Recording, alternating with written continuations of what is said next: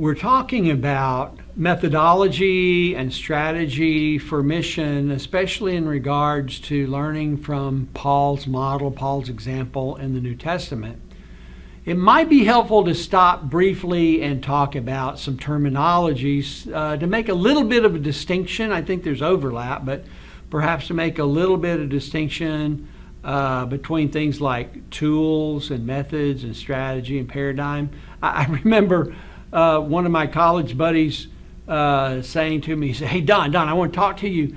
Uh, I, am working, you know, I want Linda to like me. I'm trying to win her over. So let me tell, talk to you about my strategy. And, uh, yeah, I not really used the word strategy a lot, I think, at that point. I was sort of struck. I said, Okay, your strategy. And I'm thinking, brother, you're going to need something. So I hope this strategy's a good one if you're going to win that girl over. Uh, so yeah, I think there's a lot of confusion, uh, and so I, I, with with these terminologies. So let me just walk through this a little bit and why I think it's helpful. Um, sometimes we'll hear people say, "I have a strategy," and what they actually are saying is they have a tool. And and in fact, I know there are numerous uh, occasions where uh, someone has um, criticized a missionaries team's strategy when all they know about that strategy is one tool. And it's a much bigger and deeper and, and wonderful, broader strategy. Um, but, you know, missionaries don't often publish all that and put it out to everybody. And so they saw one tool, just one tool, a much bigger picture. And now they thought, well, that's the strategy and they don't like it. So then they start uh, criticizing the missionary. So I think it's good to think through what are the appropriate uses of terms. What word best describes how Paul did his work as a missionary? And uh, in my readings of multiple, multiple books, I can't even count the books, maybe, I don't know, 30 or 40 books on Paul's mission. Uh, yeah, I'm, I'm a nut, I'm a nerd. Uh, I've run across a lot of good words um, that, but that were favorites of different authors. Uh, so, again, we've already been introduced to Roland Allen, and he talks about Paul's missionary method, methodology. And that's, that's a good word, and I think in some ways that's actually what Roland Allen is actually talking mostly about. He gets a little bit broader than method, but uh, uh he's certainly talking about a method. Uh, one of my favorite writers uh, when I was a new missionary, David Hesselgrave, uh, wrote a, a, book about Paul's cycle of church planting, uh, planting churches cross culturally. Wonderful book, and I use it as a guide. Oh my goodness, I use it a lot. That that first uh, seven or eight years on the field, and he uh, has has made it into a cycle uh, and, and shows that Paul's doing these same things over and over as he goes to different places. So that's a really interesting way, uh, I think, to look at it and, and quite meaningful.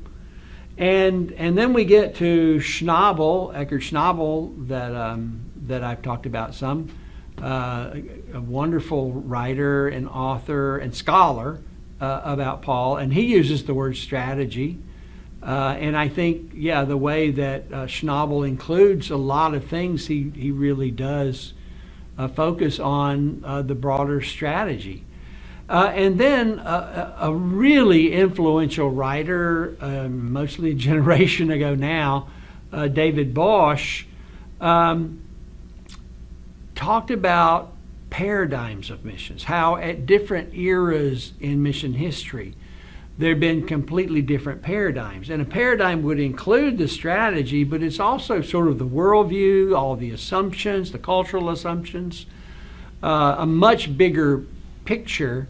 Uh, but again, he uh, would see this as paradigm.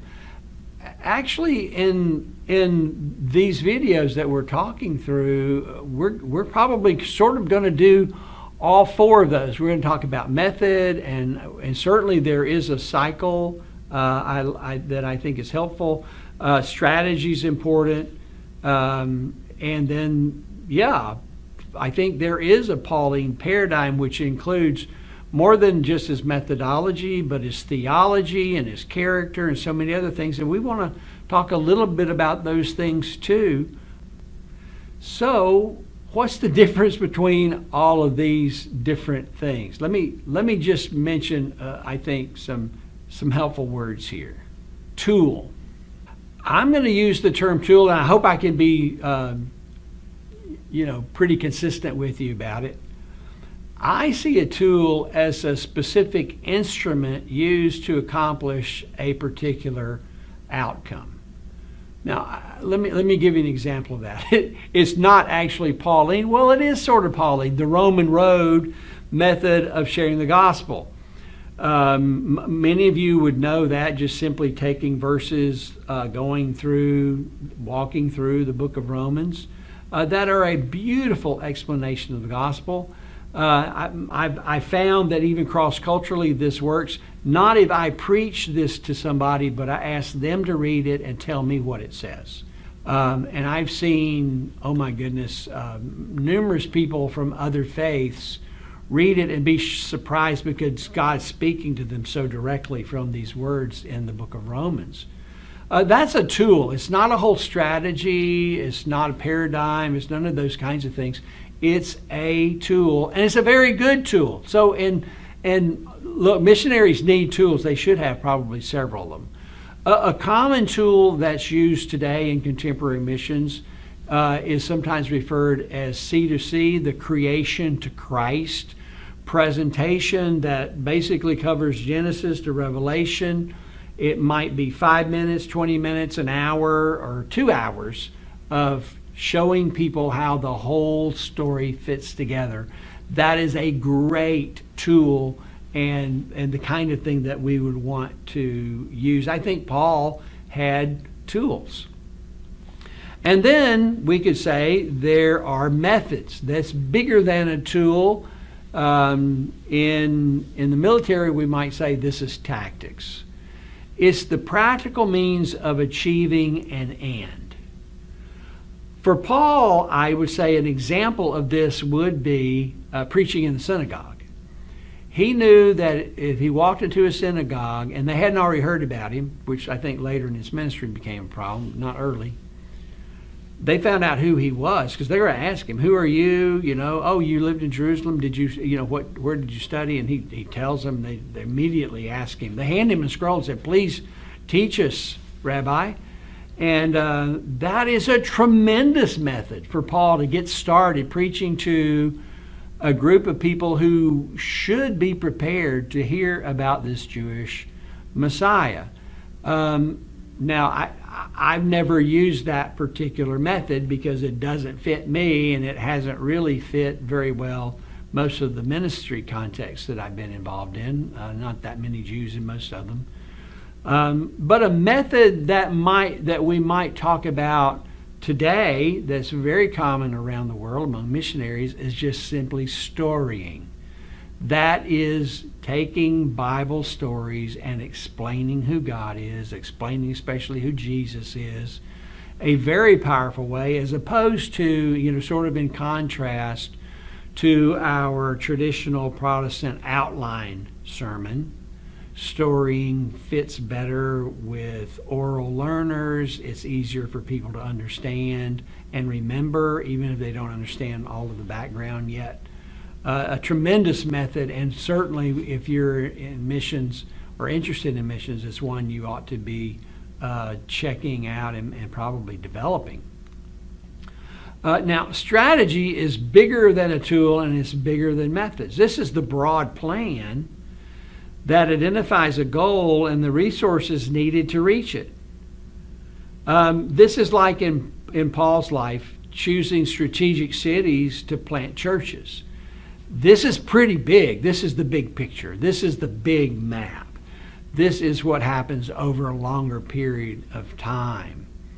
Um, it includes probably some tools and it includes multiple methods, probably, um, but it's bigger than that. And, you know, this word actually comes from the Greek for the word general, uh, a strategos. He's the guy that's looking at the whole army.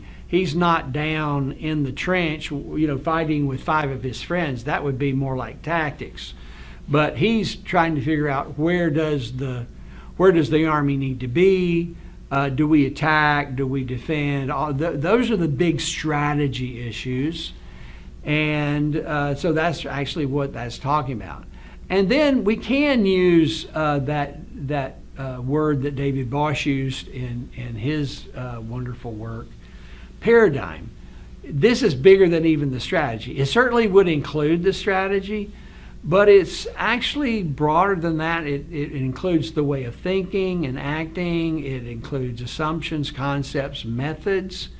I think when I'm talking about Paul, if I talked about his paradigm, I would probably want to see that in terms of his call, his methods, his objectives, his theology, uh, which again includes this whole Old Testament background and his study of it and how he's been transformed for, by Christ. All of that's part of his worldview, and so I would say that's all a part of the paradigm. That's broader than strategy. It includes theology and character and a lot of other things. Strategy is broader in methods, which is a practical means of accomplishing something. And then it, the simplest thing is getting back to a tool. Now, that doesn't mean that a tool is not critical to success. Most missionaries are using tools, maybe several, they may not even be aware of it. Uh, what, what kind of Bible study tool do you use? What kind of witnessing tool do you use? Uh, without tools, most of us stumble a little bit, even with uh, some of the simpler tasks. Um, so all of these are important, but those are the kinds of um, distinctions that, at least in my mind, I'm trying to make as we talk in this broader sense about uh, mission strategy and Paul. Um, and I think we can learn a lot from Paul's methods. Um, Paul, for instance, talked several times about three tasks or roles that he was working to accomplish. Uh, and each is a, a method, in a sense, worthy of our study. They're all part of his strategy, but he could divide it out into three pieces. And this comes out again in his writings. One is Paul says, I'm a proclaimer. I am proclaiming the good, ne- the good news of Jesus. So, how was Paul communicating the good news about Jesus? And I think that's a really one of the most important things uh, about Paul's ministry that we can learn so much from. He also, Paul says, I'm a teacher. Uh, and and how you know let's just pick up on the Great Commission. Jesus says, you know, teaching these people to obey. Um, how was Paul discipling those who believed the gospel that he was proclaiming? And he divides that out as a slightly different far part of his ministry. And then he says, I'm an apostle. And I think in Paul's terminology, we see several places where he tied the word apostle is not just an evangelist, and I think it's more than a discipler, here he's talking about we are pioneer planting new churches um, in places where there aren't churches. And so Paul is saying evangelism at the, is at the heart. And, and it's not just my sharing the gospel with one or two people in the city, it is getting it out to as many people as possible in that area. And then teaching those who believe, and then gathering them and developing them into a church. That's a, really good way of looking at Paul's ministry in the bigger picture. These are some of the core tasks and that work that we that we've seen that God is calling Paul to do. So, where does this word strategy come from? Well, it actually has military roots. Uh, and Merriam-Webster uh, defines it as the science and art of military command exercised to meet the enemy in combat under advantageous conditions. That's why you want a strategy. You don't want to just bump into them unprepared. You want to be in the best possible position. Uh, you want your troops to be rested if possible. You want to have plenty of food. You want to have a way of escape if you need it. All those kinds of things are part of the strategy. It can include all the resources of the nation as well as the military. So the general is not just about, oh, well, I've got, you know, 3,000 troops. The general is about, okay, how do we feed them? How do we take care of them? Where are they coming from? Uh, are they going to likely be sick at this time? All those kinds of things are part of strategic thinking. Now, in reality, now in English, uh, we use this word many, many, many times uh, in other fields besides military, uh, even though that's where it originally came from. Uh, people have political strategies. Uh, people develop business strategies. They are military strategies. And some of us use the term in regard to a mission plan. Jesus called us to take the gospel to all peoples. And how are we going to do that? We really do need to do uh, some planning and have a big picture about how this is going on. And um, so all of that is very helpful. Um, you know, Sun Tzu, uh, a Chinese scholar who wrote The Art of War thousands of years ago, uh, is, is recognized as one of the greatest strategists in history. Uh, most military academies probably study a little bit from The Art of War. And I want you to just, just listen to this. I'm not, you know, I'm not an expert on Sun Tzu, but uh, when I read this, I'm just amazed at how insightful, thinking way ahead uh, not just the immediate response, you know, oh, see the enemy, let's kill them all, or whatever.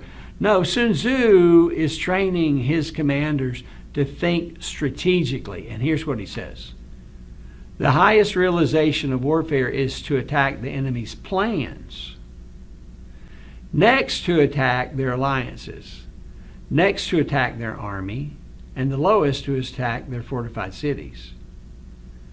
Thus, one who excels at employing the military subjugates other people's armies without engaging in battle, captures other people's fortified cities without attacking them, and destroys other people's states without prolonged fighting. He must fight under heaven with the paramount aim of preservation. That's because you don't want to destroy all that. You want to pull it into your side. Thus, his weapons will not become dull and the gains will be preserved. This is the strategy for planning offensives. Now, many military leaders in history did not think this way, and we know there are there were destructive armies and leaders in numerous times through history who basically swept through an area and wiped out everything. Uh, Sun Tzu says, do just the opposite preserve everything that you can. And then, if you can get them to come over to your side, all of that wealth, all of those people, all of those cities are now a part of you and strengthen who you are. That's brilliant. That's strategy.